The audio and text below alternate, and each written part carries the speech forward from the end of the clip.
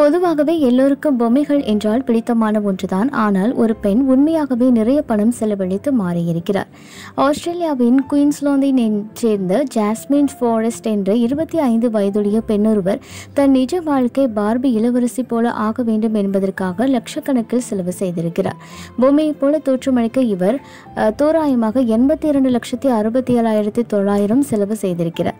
பல பிளாஸ்டிக் அறுவை சிகிச்சைகள் மற்றும் ஒப்பனை செயல்முறைகளை மேற்கொண்டு தன்னைத்தான் விரும்பியபடி மாற்றிக்கொண்டுள்ளார்.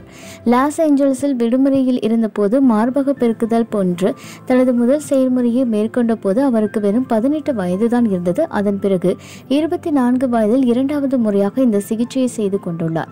இந்த பெண் பயிறு கை முதுகு கண்ணம் தொடை என்று பல பகுதிகளுக்கு சிகிச்சை செய்ததுடன் பிளாஸ்டிக் சர்ஜரி சிகிச்சையும் செய்திருக்கின்றார்.